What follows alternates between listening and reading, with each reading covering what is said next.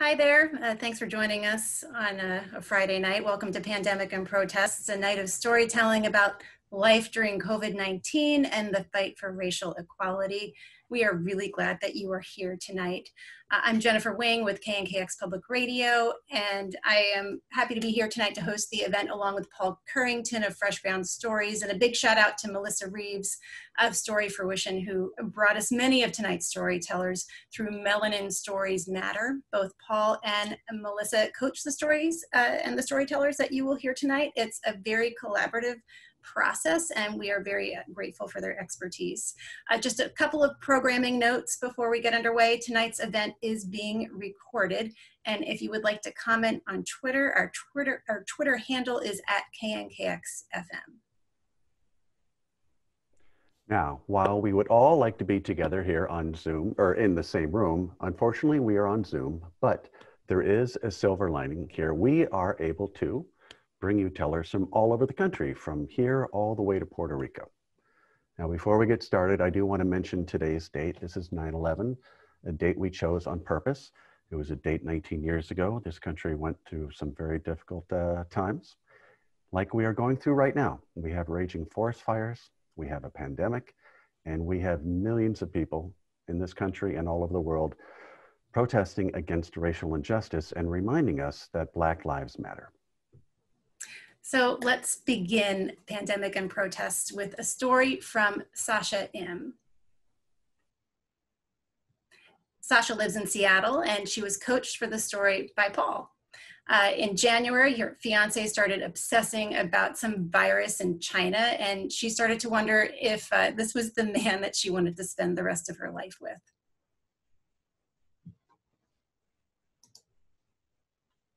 Hi, everybody my fiance Jeremy and I were pretty happy together.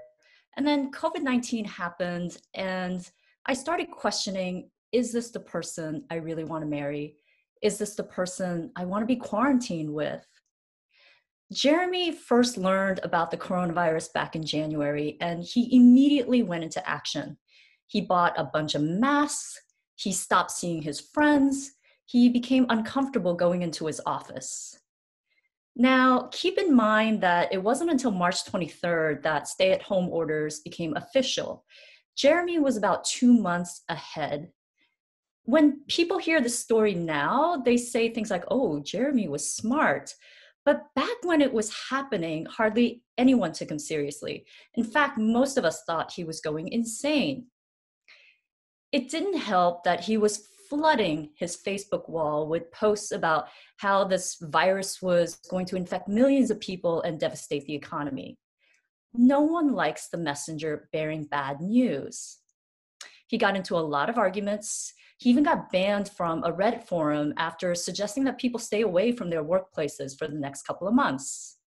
Yeah, good luck with that, buddy, someone said before shutting him down. I had a different approach to all of this.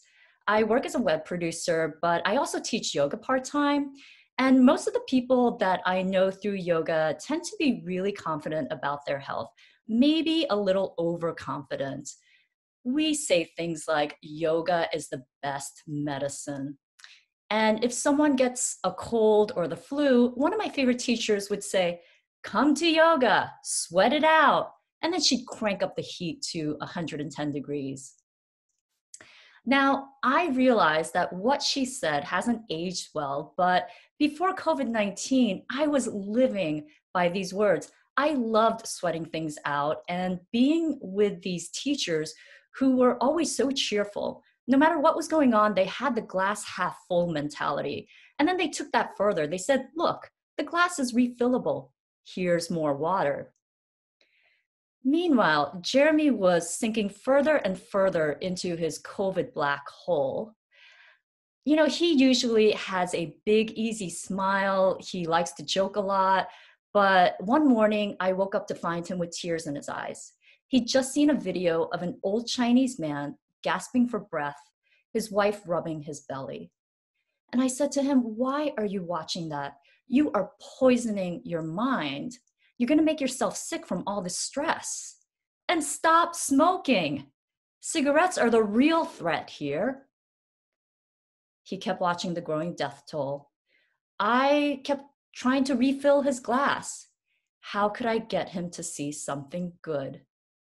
I asked him to be grateful for something, anything the sun, the rain, the food in our fridge. This worked for a little while, but then he'd get upset anytime he turned on the news or anytime I went out to see my friends. In February, I got invited to a big birthday party. Jeremy urged me not to go. I didn't think we had anything to worry about because the virus was far away. As long as we didn't get on a cruise ship, we'd be fine. I even tried to joke with him. I said, obviously, we have different beliefs about this. It's almost like we're in two different political parties. You're a skinny ball version of Arnold Schwarzenegger. I'm an Asian American, middle class Maria Shriver. There's a gap here, and we're just gonna have to agree to disagree. I went to the party, had a great time, but when I got back, I saw Jeremy sulking in bed. The room was dark, but I could tell he was still awake. He suddenly shouted, You're my vector of disease. You expose yourself to countless people. What a killjoy. I said, Jeremy, I think you love this virus. You love it and you pour all your energy into it. No. He said, You don't get it.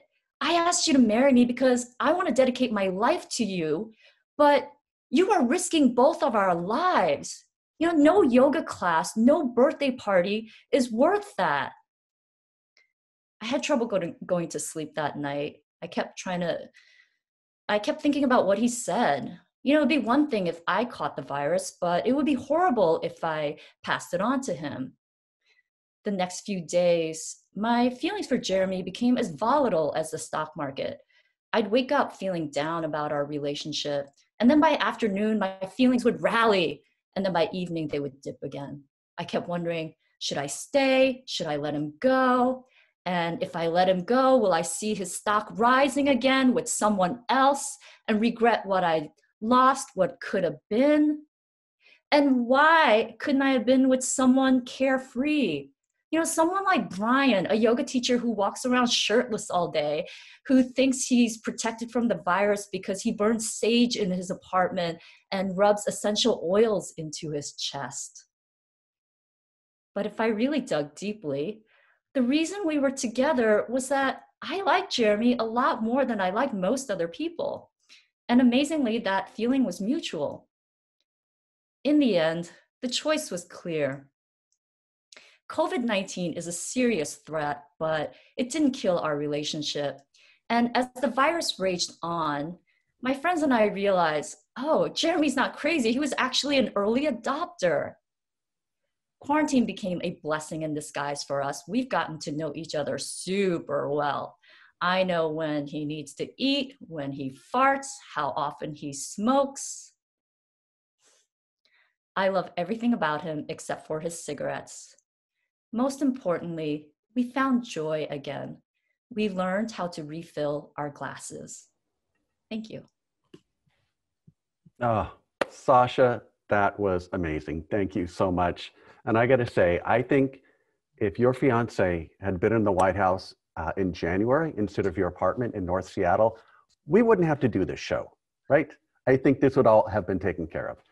Uh, I do have one request. Request, please, please insert a little bit of this story into your wedding vows. I would love to hear the minister say, "Jeremy, do you take this vector of disease to be your lawfully wedded wife?" Please let this happen.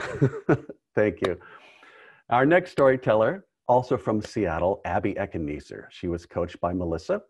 And Abby does a million things. Among many things, she's an activist, she's a veteran, and her storyteller, it's about a time when, uh, during a protest, she came in contact with a police officer, and it, her military training kicked in in that moment.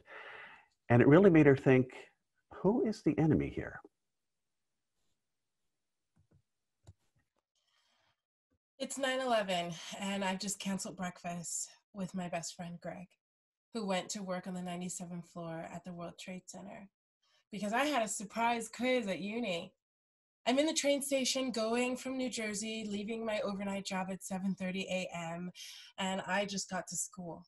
I finished taking my economics test and I turned on my mobile only to have received 30 missed calls and voicemails from my friends telling me that the World Trade Center was just attacked. I run down the student center to see the news because I couldn't believe it. And it's showing on the screen over and over again. Three months later, after searching for my friend, we finally found his remains and were able to bury him. In June of the following year, I joined the Navy. I just wanted to make sure that 9 11 never happened again. I am a veteran. I served two tours in Djibouti and Afghanistan in 2007. And I'm in Navy boot camp when they tear gas us for the first time. They teach us this to make sure that if we're ever in a situation by the enemy, if we get tear gas, we actually know how to handle ourselves. And this only happened to me once while I was on active duty. On May 25th, 2020, I am watching a death blue knee. I am watching a death blue knee pressing upon a begging black neck. This causes a deep outrage within myself and the rest of the world. This has not only happened once, but so many other times with so many other people of color, especially right here in our own state.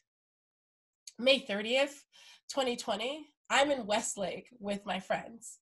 One of them is Lucio. I call him my bear because he is massive and six three.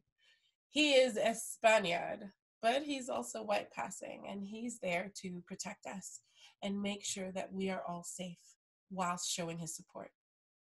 He met up with me and my friends, and we all chant together the names of so many that have lost their lives due to police brutality Rodney King, Charleena Lyles, Aubrey Abrams, George Floyd, Breonna Taylor, Jacob Blake, and recently, who is now paralyzed so many different chants we say just to show that we are peaceful. Unfortunately, we are met with forceful opposition.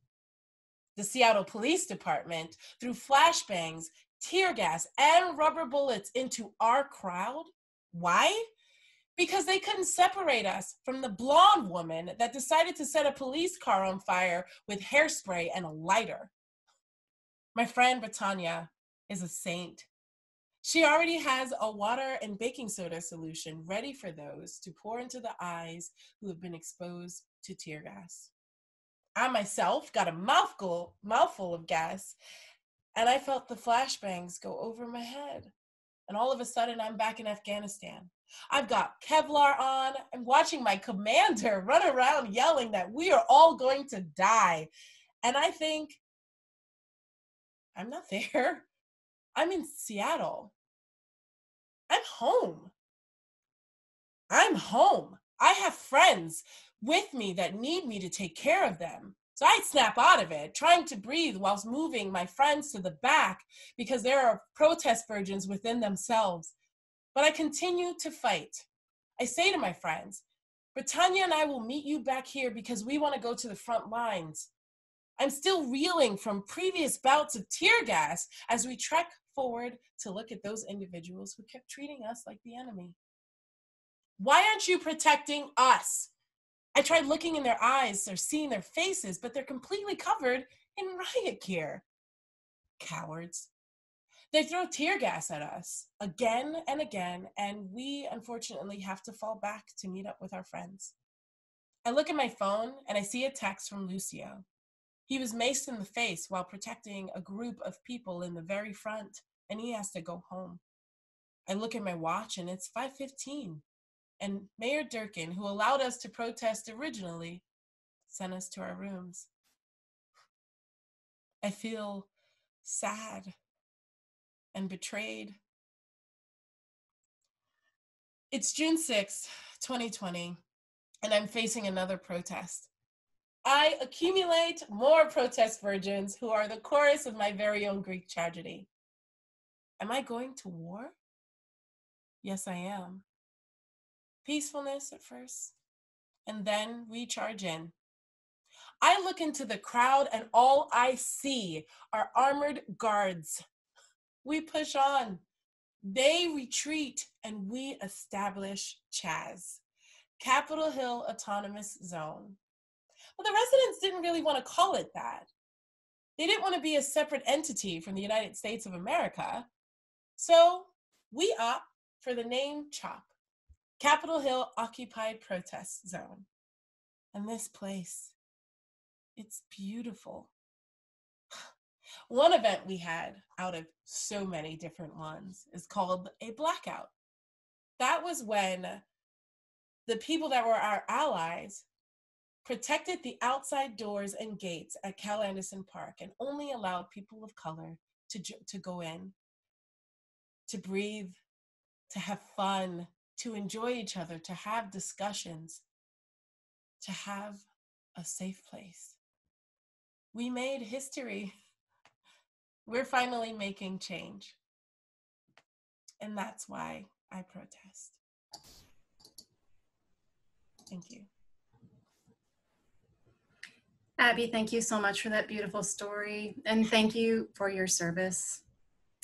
Um, Abby, you are an actress, a singer, a cosplayer, and, uh, and also a filmmaker.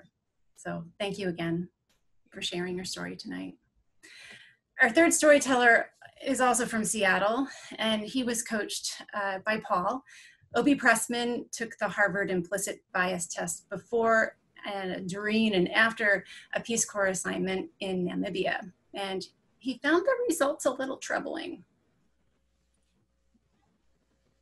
The implicit association test, or the IAT, was created by a team at Harvard to measure our unconscious biases from neutral to strong.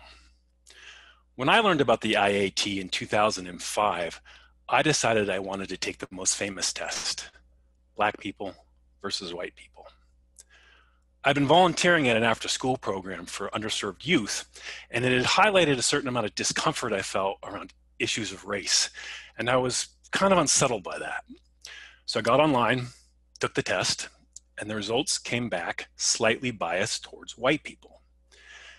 And rather than really contemplate what that meant for me personally, I kind of just sidestepped the whole thing by congratulating myself on being less biased than the average American, as most are at least moderately biased towards white people. Three years later, I'm a year into my service as a Peace Corps volunteer in Namibia. I'm at a mid service conference with all my fellow volunteers.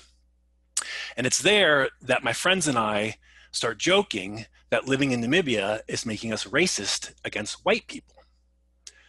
Let me unpack that. Namibia is a post apartheid country. And unlike in South Africa, there was never a truth and reconciliation process. As a result, it seemed to me that every white Namibian that I met still carried that legacy with them, whether they acknowledged it or not. And I think because Peace Corps volunteers were outsiders, we could see that in a way that they couldn't. In my community, almost everyone around me, my colleagues, my friends, people I respected, people I loved, were almost all varying shades of brown. And I was contemplating this after the conference. And it dawns on me, oh, I should take the IAT again. So I get online and take the test and my results come back as moderately biased towards black people. And at the time, this makes perfect sense to me because I can think about Edwin, who's not only my boss at the Ministry of Youth, he's also a reverend, a cattle herder, and one of the most decent and dignified people I have ever met in my life. Or I can think about Festus, who's my coworker. And when we first met, I didn't think that he liked me, and I didn't even know whether I even liked him. But as we got to know each other, we warmed up and we became really good friends. And every holiday, he would invite me back to his parents' homestead, way out in the bush. Or I could think about Shinyo, who, when we met at a barbecue and our eyes locked over all that grilling meat, it was as if our friendship had a love at first sight. Two years later, I'm back in Seattle, I'm at work, and we're taking sessions on diversity and inclusion. And they ask us to take the IAT. And I think, great, chance to bring this whole thing full circle. Perfect. So I get online and I take the test. There's a lot more debate now than there was then regarding the accuracy of a single IAT, although there's little debate about what it reveals in aggregate about this country. But if I was being honest with myself, I didn't need a test to know what the results were going to be. I remember when I first returned to Seattle and I saw someone of African descent, my heart would leap because it felt like, oh, oh, oh, there's my people. And I couldn't help but express that happiness and excitement outward towards them. And invariably, or almost invariably, they would respond. And yet, I felt that feeling fade until it disappeared, and with it, so did those interactions. When I got my test results back, they were moderately biased towards white people. And it's not that there weren't black people or people of color in my life, there were. And it's not like I should have been biased one way or another, ideally, but I didn't live in a vacuum.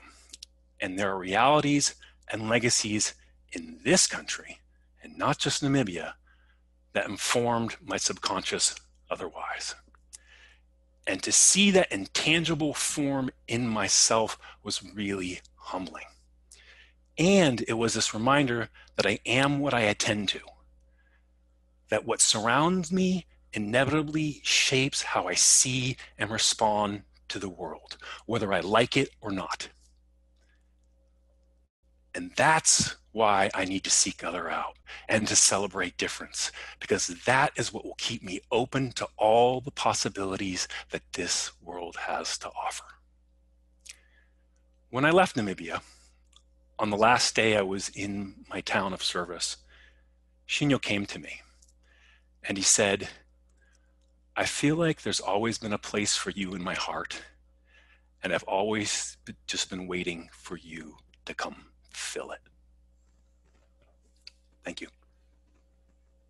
Obi, thank you so much for that story. That is as beautiful as it was when I first heard it three years ago. Thank you for your, your honesty and uh, your vulnerability and, and talking about that and reminding us we have to be conscious about what we're doing now. You know, we have to do some difficult things and we have to be mindful about doing them or they won't get done.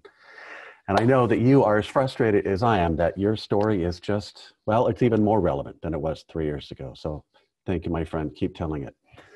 Our next storyteller is Christina Diaz, coming to us all the way from the beautiful island of Puerto Rico, San Juan, Puerto Rico. She was coached by Melissa. Now, Christina has always embraced all the different shades uh, of skin color in her family. But when she was growing up, she realized that not all of the people in her culture did that. Some of them did not embrace the darker tones. And that is why she's telling us this story tonight. Hi.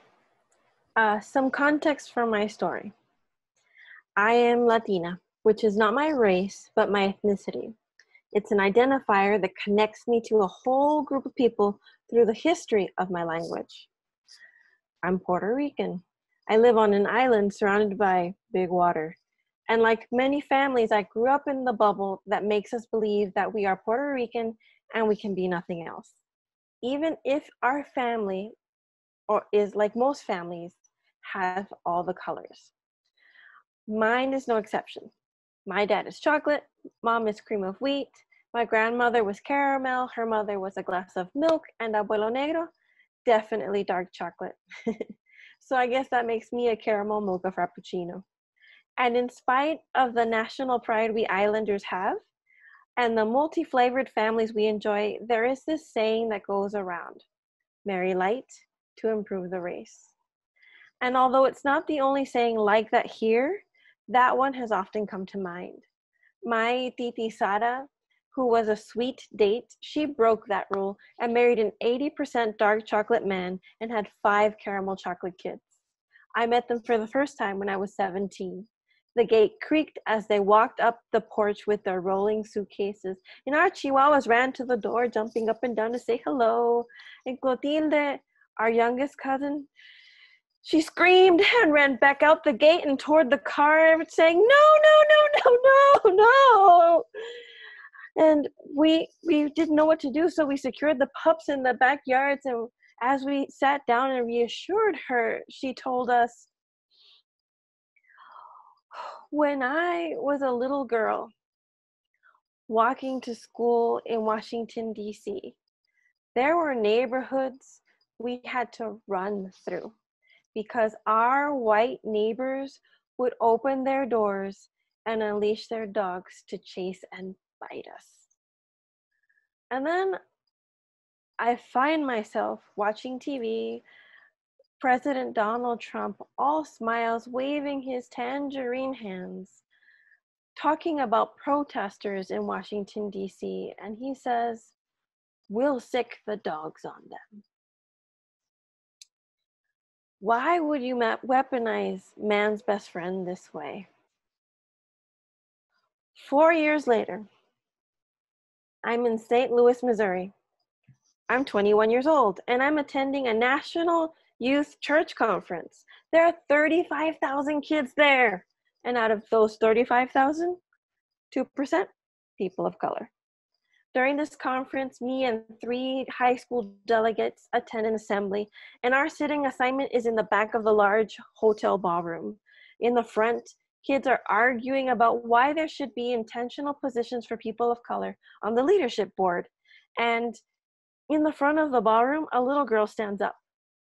She was a 14 year old cup of strawberry yogurt with curly blonde hair. And without skipping a beat, she said, What more do these niggers want?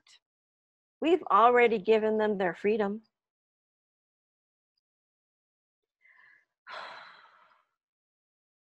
Six years later, I'm in Buenos Aires, Argentina, in South America. I'm working as an RA for student housing in the dorms, we have students from all over Argentina. And in this community of about 30 people and students that I work with, I am the only brown person. The phone rings, and there's been an incident at one of the female dorms. E was an icebox cake her skin was white like fluffy marshmallows and her hair black like Oreo cookies. But there was nothing sweet about what E had done that day. In a flurry of anger, she stripped down her room, pulled things off the walls, dumped her clothes into a suitcase, threw it down a flight of stairs to the first floor. Then, before leaving, she opened up her purse, pulled out a condom, spit into it, filled it with all these gross things. And I don't even want to know what it was, but she tied it to the door, slammed it shut, and was like, See ya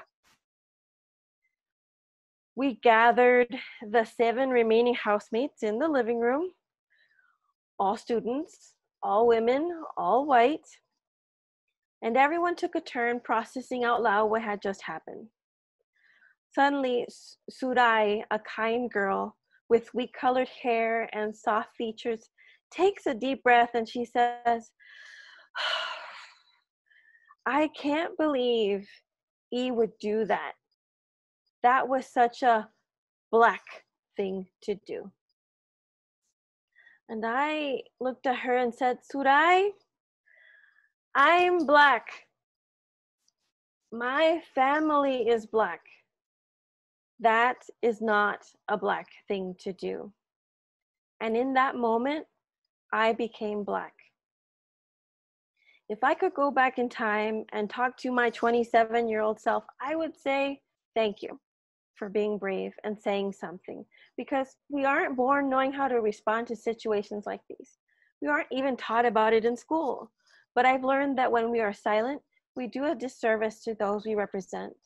And I know Surai wasn't directly talking to me when she said that thing, but it mattered. It had a history. And I think back to all the sayings like that one that I've heard growing up, pointing to light being better, but I refuse to believe that because being black is not a bad thing. and the mocha in my Frappuccino is incomplete without the chocolate. These sayings become the stories that are told about people like me. And what we say and where it comes from matters because words have power. They're like spells we cast upon ourselves and others. So as I look back at these stories and all the others in between, I hope they tie themselves to your memory and have the power to change the way you experience the different flavors of your own story. Thank you. Thank you so much for that story, Christina. That was really wonderful. Christina learned uh, to love telling stories from her grandmother, uh, her great grandmother, and even her great great grandmother. so, thank you again for sharing uh, your perspective and your experience. Up next, uh, Singh lives in Jersey City, New Jersey, and was coached for the story by Melissa. Harjit tells us what it's like having deep pride in his Sikh religion uh, and Indian culture. And he tells us that his heart aches when someone passes judgment, fearing that he might be a threat simply based by the way he looks. I'm five years old. My mom dresses me up nicely in my school uniform. I'm wearing my navy blue shorts, light blue shirt, and tie. She combs my hair and ties it in a bun and covers it with a turban. Not quite like the turban that I wear today, but almost like a do rag that makes the outline of my bun, my jura, visible. My grandfather drops me off at the bus stop, and right after he leaves, the boys at the stop surround me, hold my jura in their hands, and try and rip it apart like it's a dirty old rag. Is that a tomato on your head? Is that is that an egg? What if I smash it? Will it break? And this would happen day after day. And every day I would go back home and cry to my mom and ask her, why do I look different? Why can't I be normal like everyone else? And my mom would say, Beta, we are Sikhs. The turban is a part of our identity. Our long uncut hair is a part of our identity. It represents existing in the natural form that God created us in. It's a gift given to us by our gurus. And who are you to try and blend in when you were born to stand out? There were two more things my mom told me that day that gave me strength and comfort in who I was. One, if you're better at something than everyone else, then everyone will want to learn from you and not hurt you.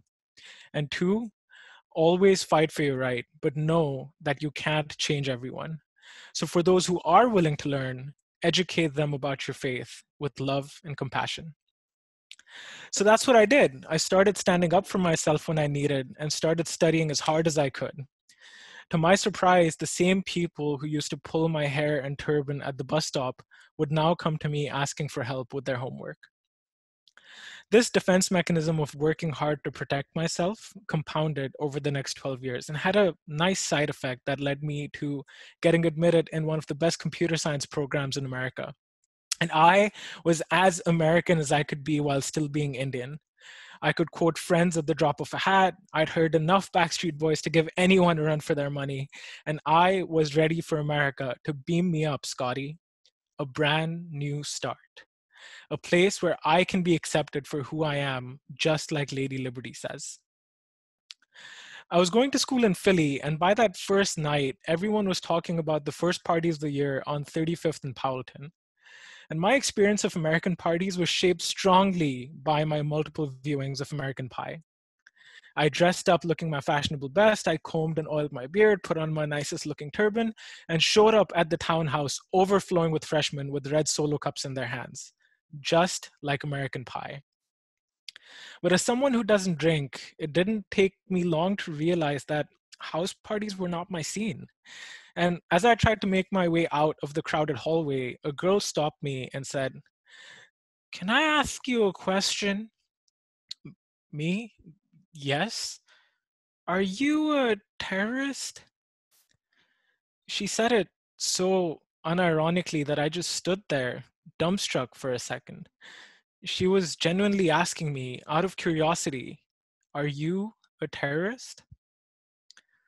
And this assault on my identity continued in subtle but not so subtle ways. Every so often, a car would drive by the driver, and the driver would shout, "Fuck you, Osama!" or "God damn raghead." One time, I was stopped at the airport because TSA thought that the jar of pickles I was carrying was an improvised explosive device. And then there was a time when I was waiting for the next bus when a red Jeep slowed down near me, the back window rolled down. The person inside threw a crumpled cigarette box at me and drove away.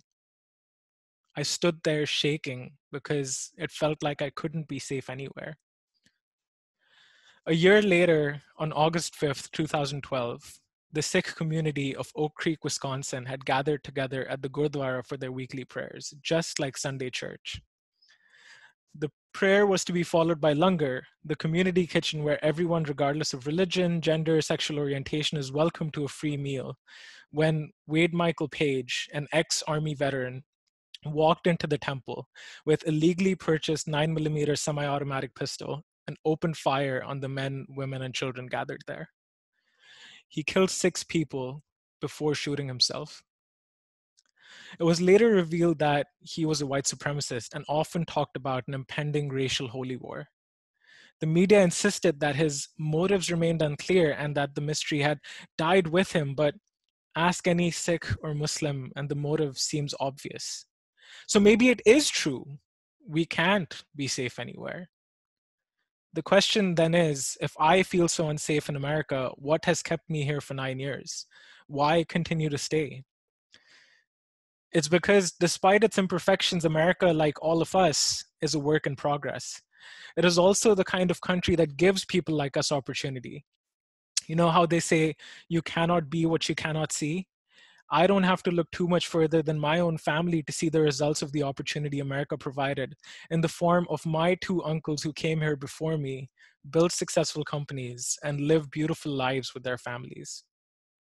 Yes, there is the occasional verbal abuse, fortunately, no physical abuse, but I get through it because I realize that it's only 0.5% of the people doing the shouting.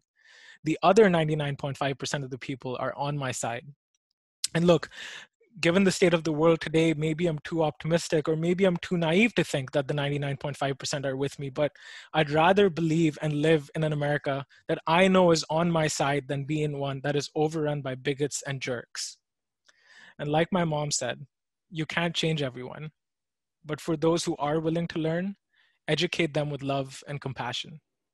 And hey, I'm more than happy to talk because when you look like I do, it's a great conversation starter.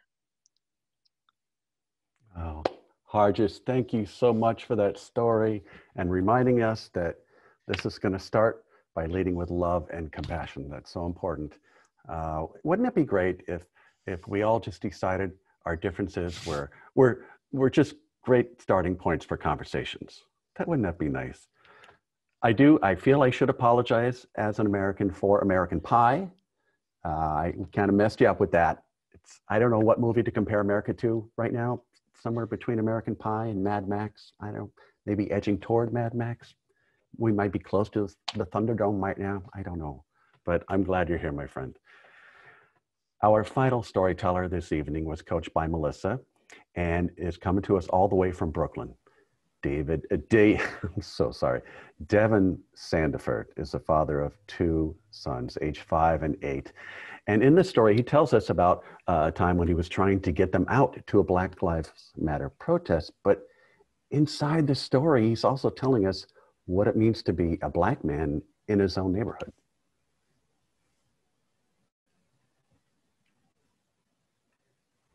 Thank you, Paul. Hi, everybody.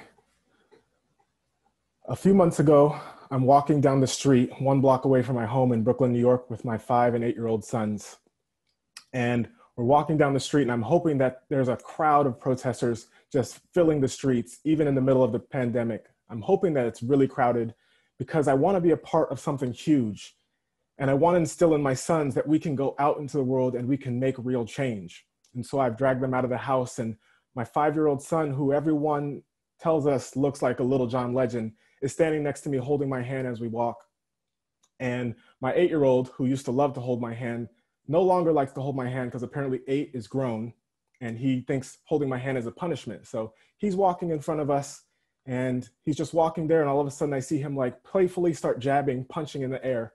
And I hear myself instantly say, Stop that. And he looks at me and he's really confused. But I have to tell him that he's, we're not doing that today because we live right next to the Barclay Center where the protesters start or end every night for their protests. And on the other side of our home is New York City Police Department 78th Precinct, where the police gear up in their riot gear every night. And our street has been barricaded for at least a week as everybody has come out after a video has gone viral of a human being's life being taken, stolen from the earth by a cop without even an ounce of remorse. And I'm, I'm so motivated to take them outside, even in the middle of the pandemic. And I, I tell my son that he doesn't get to be a kid right now.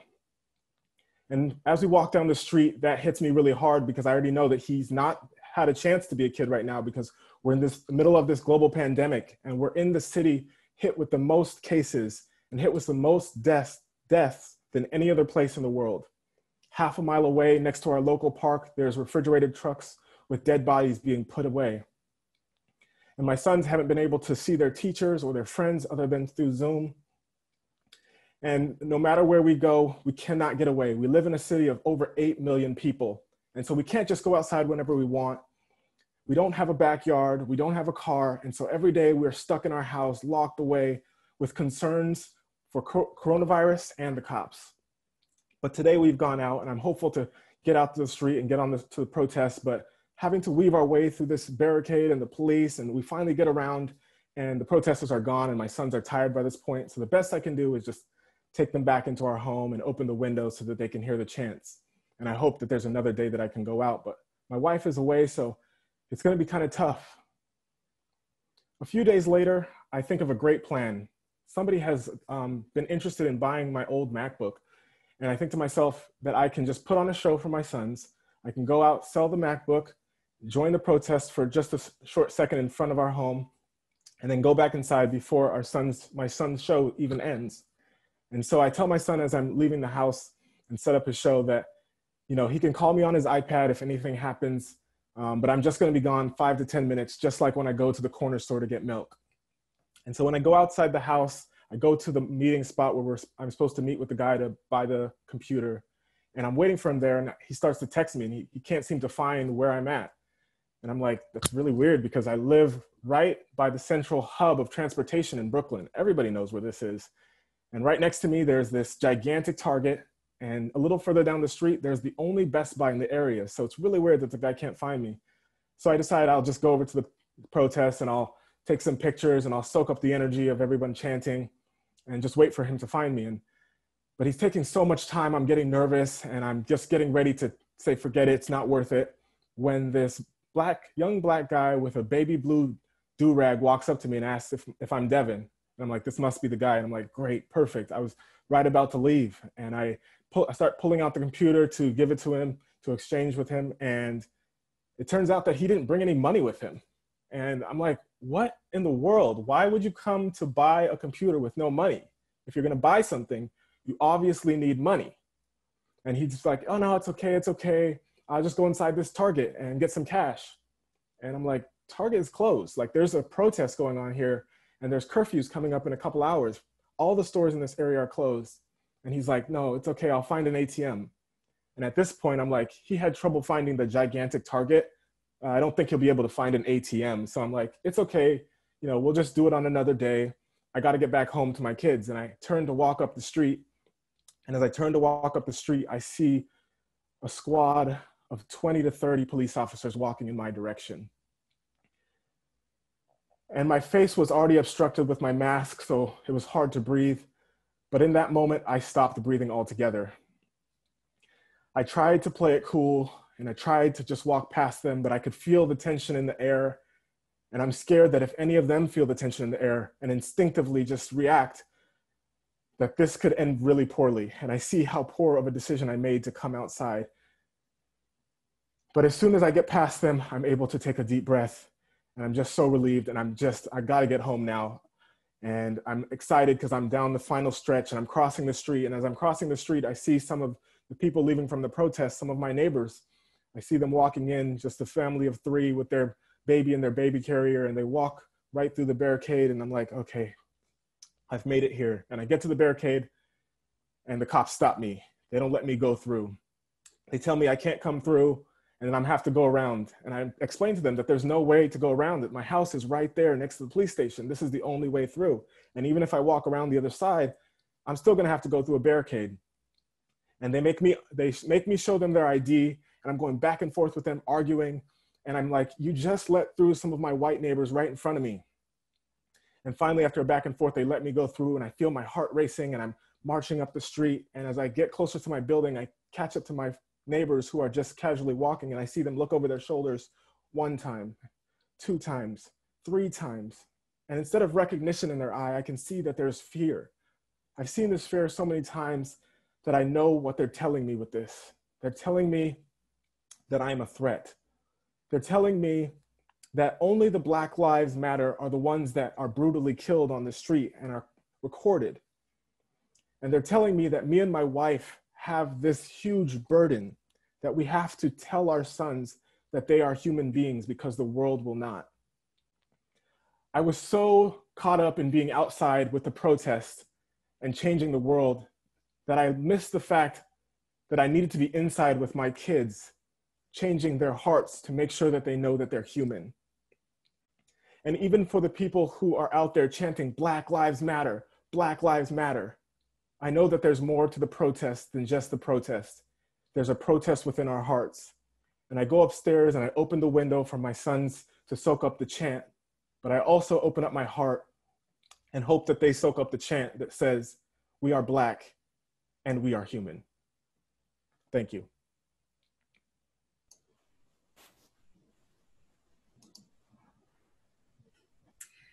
Devin, thank you so much for that story. Devin is a published writer, a three time New York City Moth Story Slam champion, and he's also the founder of an organization called Unreeling Storytelling, a Brooklyn based true storytelling show providing a platform that sheds light on the repressed perspectives of people of color, women, and other marginalized individuals. Yes, and thanks to all the tellers this evening who, who opened their hearts through their stories. It takes a lot to do this. It takes a lot to tell these stories to anyone, and even more courage and dedication to tell it to a room full of strangers, even if it's virtually. COVID may be keeping us apart, but stories and storytellers like this are bringing us together. So, to everyone out there, please um, keep sharing your stories wherever you can. Yeah. And a special thanks to you, Paul Currington, with Fresh Ground Stories. It was a pleasure. And uh, to Melissa Reeves with Story Fruition, who brought us the, a lot of storytellers tonight and coached them along the way and helped shape and craft. Thank you so much for all the work you guys put into this. Tonight's event was recorded and we expect to have it available uh, for sharing on our website, knkx.org on behalf of KNKX, Fresh Ground Stories, and Story Fruition, thank you so much for being here tonight on a Friday night. And thank you again to all of you wonderful storytellers, you talented humans who made this night possible. So be well, be safe. Good night. Thank you.